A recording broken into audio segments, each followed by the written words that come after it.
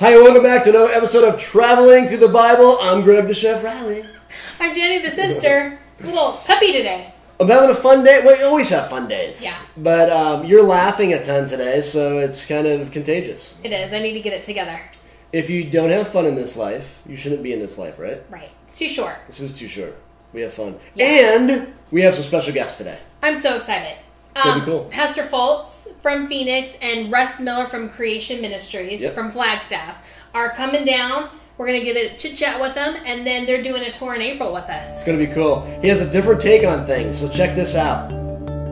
Now, you just got back. What, last, a couple months ago, you just got back. No, year, uh, six months ago. Oh, but time flies. Yeah, How was it? fantastic. And you're going again, We are going again. And you're taking Russ with you. I am. Now, what's the difference between the tour that you just got back from and the tour that you're going to be doing with Russ?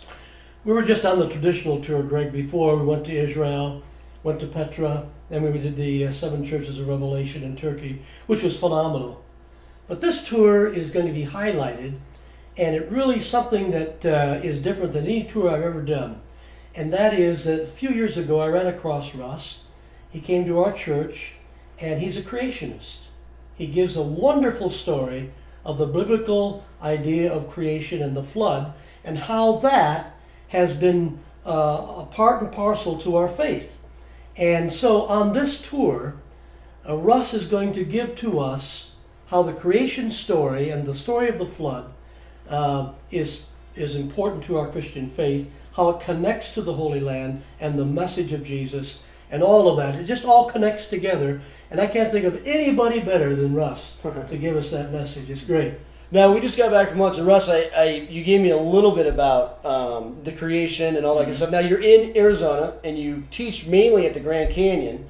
That's your, I guess, your biblical or your, your backdrop you use. Can you just explain about the biblical or what, what you teach with uh, the creation theory? Oh, sure, absolutely. We um, actually try to show folks that the foundation of the uh, gospel message is that God's perfect creation was corrupted by Adam's original sin that allowed death, evil, and suffering to enter God's perfect creation and separated man from God. Remember, Adam used to walk in the garden with God, but his sin separated man from God. So now we need to be redeemed with God. And that is that whole account is found in the first three chapters of the book of Genesis. And because we were separated, God promised a coming Redeemer. In Genesis 3, verse 15, we're told that the seed of the woman would bruise the head of the serpent. Well, that's the first promise that the coming Redeemer, the seed of the woman, that means, well, the seed comes from the man. So we're being told that the coming Redeemer will be born of a virgin.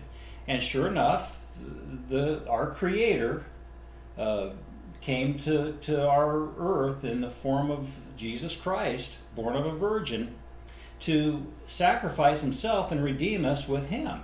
So, what we're going to do in the Creation to Revelation uh, tour is to tie in the biblical foundations to the Holy Land, to the Word of God, and we're going to show people that even though the secular societies today teach millions of years leading to Darwinism as if they were science, and really those are two beliefs, millions of years of time is a belief, you have to believe in it.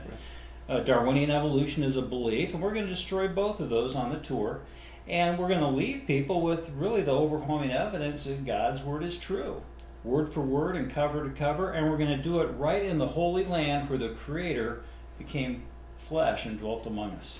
I mean, the Grand Canyon would be a great backdrop, but being in Israel and being there and teaching is going to be even better. It's awesome.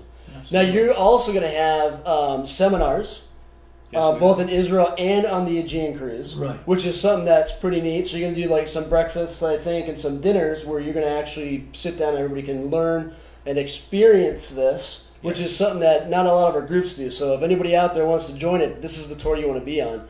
Um, but that sounds like a good time. Now, what is your favorite spot in Israel? Wow, there's so many of them.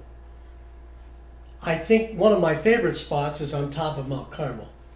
And I love it because I can look out over the whole uh, plain of Jehoshaphat there and where the Battle of Armageddon is going to be fought. But then I turn my back and I look back at the Mediterranean Sea and I think of the prophet Elijah when he told his servant, Go and look and see if there's a cloud. It hadn't rained for seven years.